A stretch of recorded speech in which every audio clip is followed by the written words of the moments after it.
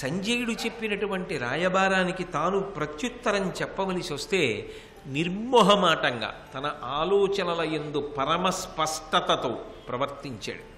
అన్నిటికన్నా జీవితంలో ఇతరుల విషయాన్ని ఎత్తి చూపించడం కన్నా ముందు తన ఆలోచనలో తనకి స్పష్టత ఉండాలి.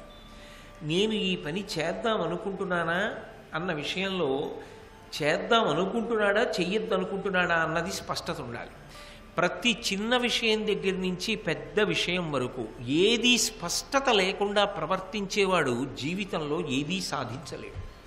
మీరు చూడండి ఒక కార్యాన్ని ప్రారంభం చేస్తాడు. ఆ కార్యక్రమాన్ని ప్రారంభం చేసే ముందు చాలా అట్టహాసంగా ఇక తాను జీవితంలో అది సాధించి తీరుతానన్నంత ఉత్సాహంగా మొదలు పెడతాడు ఆ మొదలు పెట్టినప్పుడు ఉన్న ఉత్సాహం నిలబెట్టుకుని దాన్ని సాధించలేడు.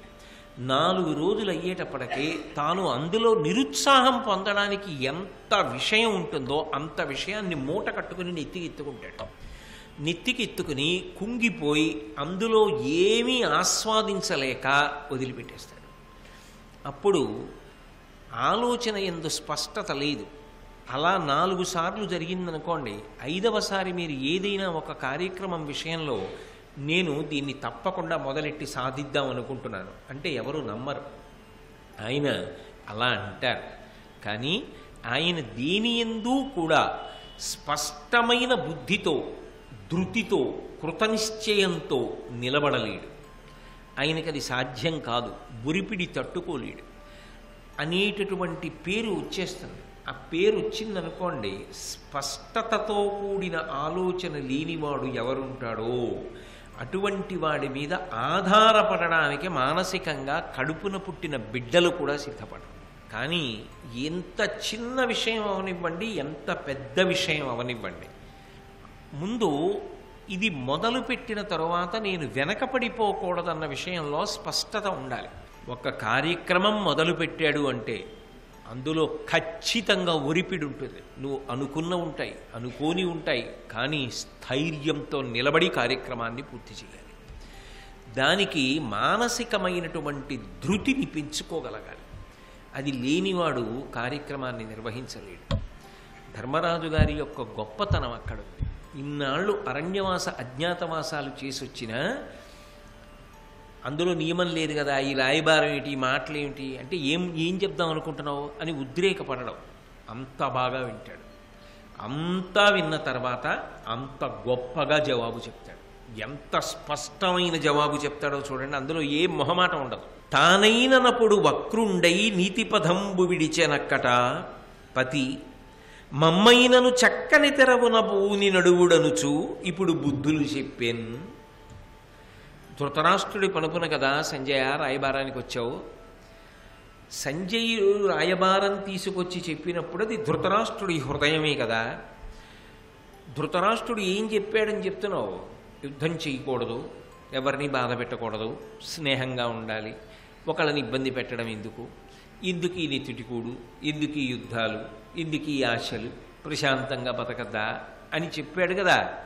మాకు చెప్పడానికి పనికొచ్చిన ఈ నీతులు మా పెదనాన్న పాటించడానికి పనికిరాలేదా? తను పాటించడానికి పనికిరానివి మాకు ప్రబోధం చేయడానికి మాత్రం పనికొచ్చాయా? ఇన్ని వందల శ్లోకాలు సంజయుడు చెప్పిన ఈ రాయబారం అంతా ఏమైంది? ధృతరాష్ట్రుని యొక్క హృదయాన్ని సూటిగా ప్రశ్న వేశాడు. అనుష్ఠానము లేనప్పుడు ఆచరణ లేనప్పుడు నిలబడలేనప్పుడు నోటితో ఒకటి చెప్పి వెనక ఒకటి చేసేటప్పుడు ఇటువంటివి చెప్పడానికి వయసు చేత అధికారము పొందినట్టేనా? నువ్వు రావచ్చా? ఇటువంటివి చెప్పచ్చా?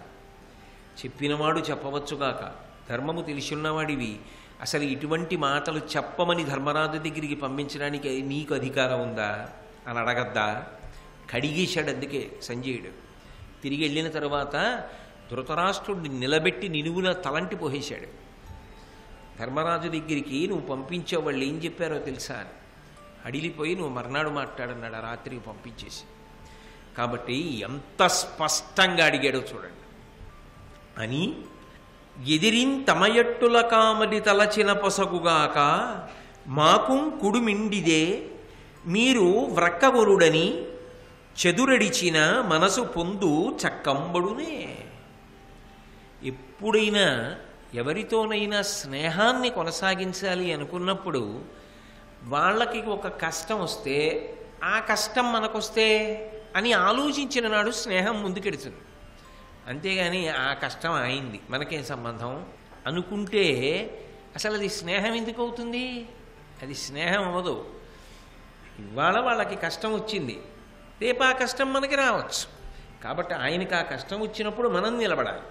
అని అనుకుంటే అది స్నేహమే అవుతుంది. ఖచ్చితంగా అది జ్ఞాపకంలో ఉండిపోతుంది. ఆ కష్టంలో ఎలా నిలబడ్డారు?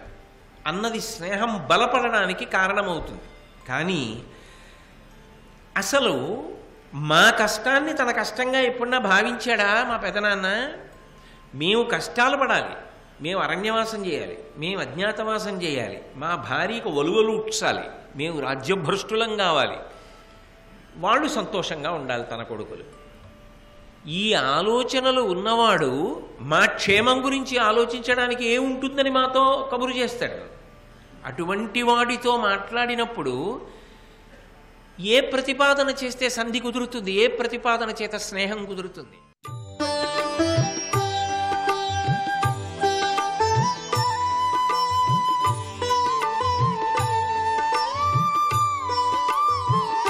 सर्व श्री उमाहेश्वर पर ब्रह्मापणमस्त